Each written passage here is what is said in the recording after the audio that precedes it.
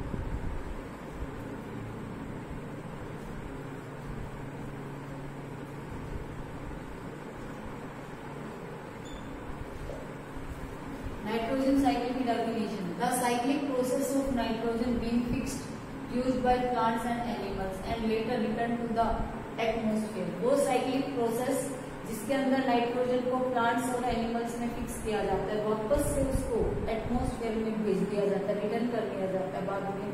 वो पूरा प्रोसेस क्या कहलाता है? नाइट्रोजन साइकिल कहलाता है। इसके फाइव स्टेप्स हैं। नाइट्रोजन साइकिल के सबसे पहला। Nitrogen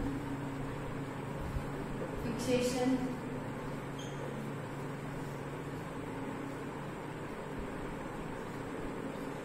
nitrogen assimilation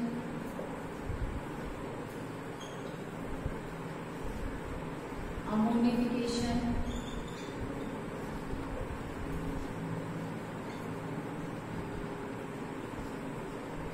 nitrification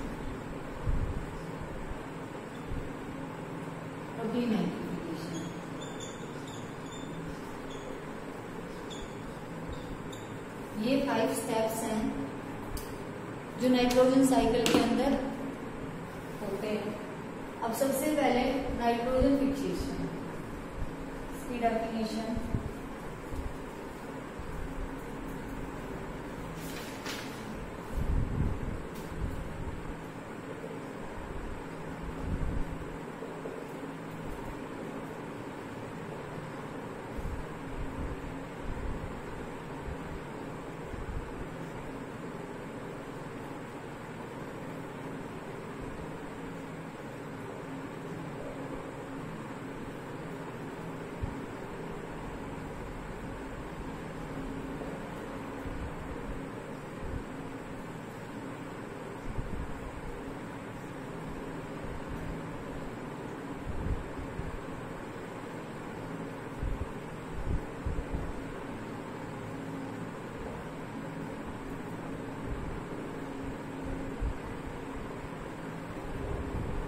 nitrogen fixation the process of converting free nitrogen gas of atmosphere into nitrogen compounds. वो process जिसमें एटमोस्फेयर की फ्री नाइट्रोजन गैस को नाइट्रोजन कंपाउंड्स के अंदर कन्वर्ट किया जाता है, वो प्रोसेस कहलाता है नाइट्रोजन फिक्सेशन इसके दो टाइप्स हैं कि कैसे कैसे फिक्स होता है। एक तो एटमोस्फेरिक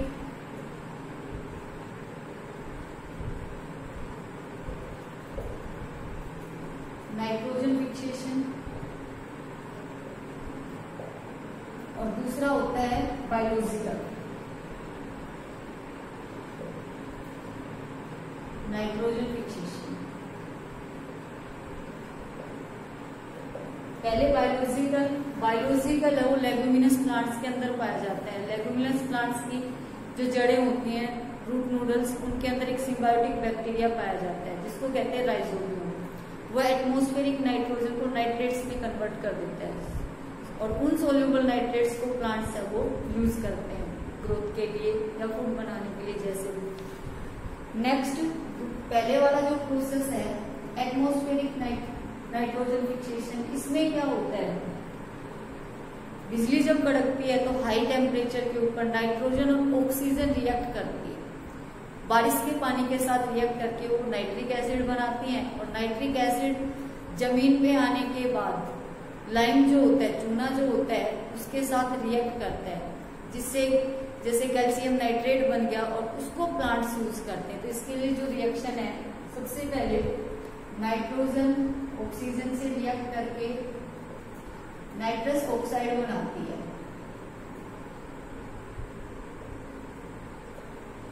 अगेन इसके अंदर ऑक्सीजन ऐड होती है। ये बन गया आपका नाइट्रेट्स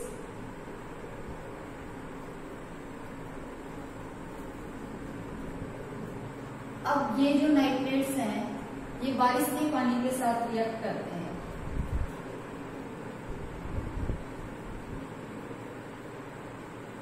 और ऑक्सीजन के साथ। इससे बनेगा नाइट्रिक एसिड ये नाइट्रिक एसिड ज़मीन पे आ जाता है बारिश के पानी के साथ। और ये लाइमस्टोन जो होता है उससे रिएक्ट करके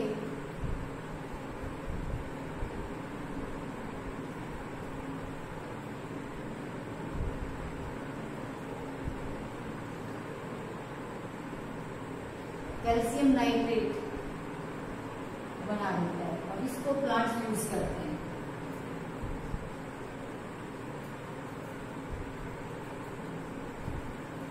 ये हो जाएगा एटमोस्फिरिक नाइट्रोजन फिक्सेशन नाइट्रोजन और ऑक्सीजन ने रिएक्ट किया तो नाइट्रस ऑक्साइड बन गए, फिर नाइट्रेट्स बने। उसके साथ बारिश के पानी ने रिएक्ट किया तो नाइट्रिक एसिड बन गया। वो नाइट्रिक एसिड लाइमस्टोन के साथ रिएक्ट करता है तो ये बन गए। जैसे कैल्शियम नाइट्रेट बन गया। इसको प्लांट्स है वो यूज़ करते हैं। ये तो हो गया first step nitrogen fixation second जो स्टेप है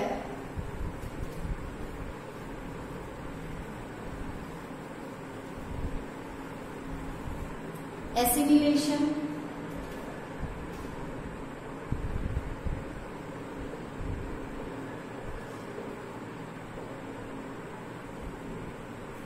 एसिडिलेशन में क्या होता है कि प्लांट्स इन नाइट्रेट्स को एब्जॉर्ब कर लेते हैं मिट्टी से और इनको कन्वर्ट कर लेते हैं। ठीक है?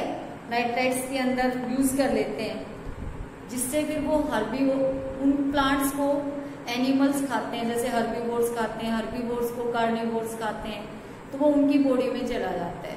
ठीक है, ये हो गया नाइट्रोजन का सेकंड स्टेप नाइट्रोजन एसिमिलेशन इसकी definition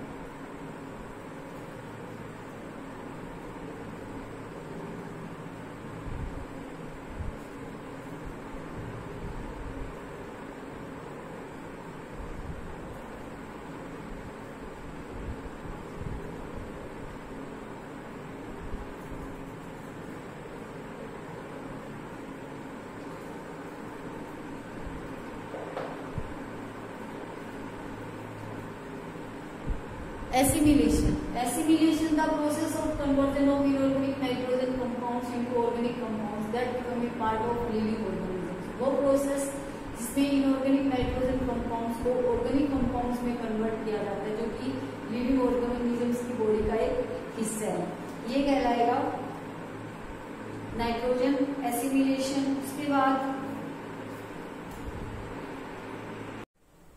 नेक्स्ट जो स्टेप है नाइट्रोजन साइकिल का, वो है ammonification her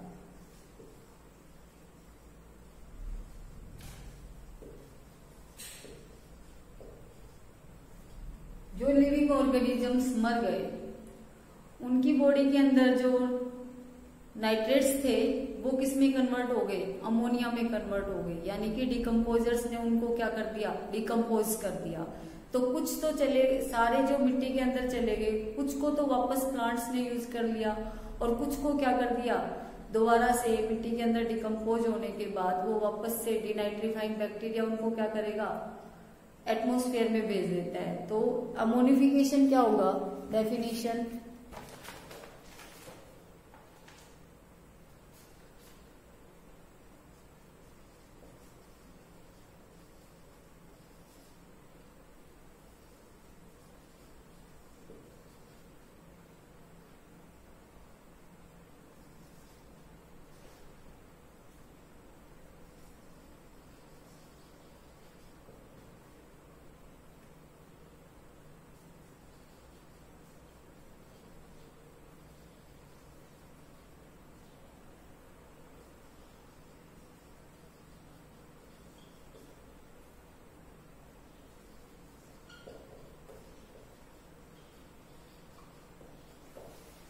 the process of conversion of proteins proteins को क्या कहते हैं? कॉम्प्लेक्स ऑर्गेनिक कंपाउंड जो हमने अभी एसिमिलेशन में पढ़े थे। उन, इनटू अमोनिया।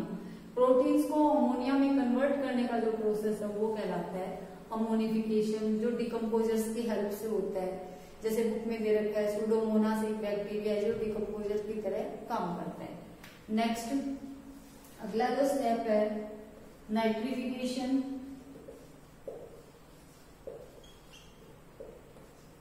इसकी डेफिनेशन होगी।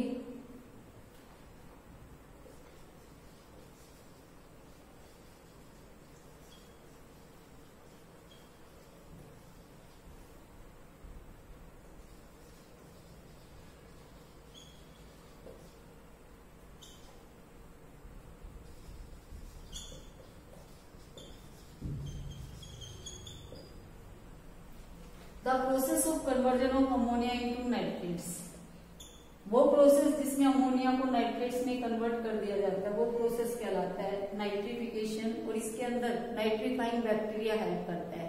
यानी कि अमोनिया को नाइट्रेट्स में कन्वर्ट कौन करता है? नाइट्रीफाइंग बैक्टीरिया करता है। लास्ट जो स्टेप है डिनाइट्रिफिकेशन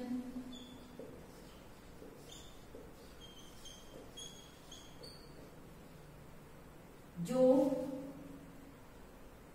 नाइट्रेट्स हैं इनको वापस से फ्री नाइट्रोजन गैस के अंदर कन्वर्ट करने का जो प्रोसेस है, वो कहलाता है। डिनाइट्रिफिकेशन और इसमें नाइट्रीफाइंग बैक्टीरिया हेल्प करते हैं इस प्रोसेस में। तो definition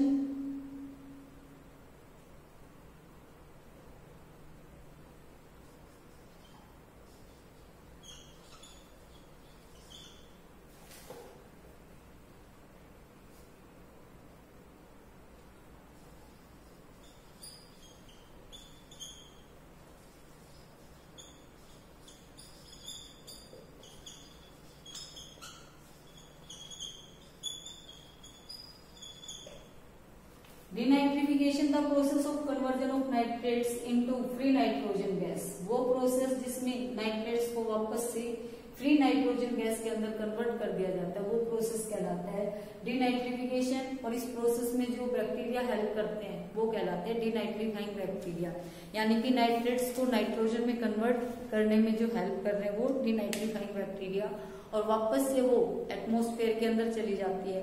इसीलिए एटमोस्फेयर के अंदर नाइट्रोजन का जो रेशियो है परसेंट है, वो हमेशा कंटिन्यू सेम बना रहता है seventy eight percent thank you have nice day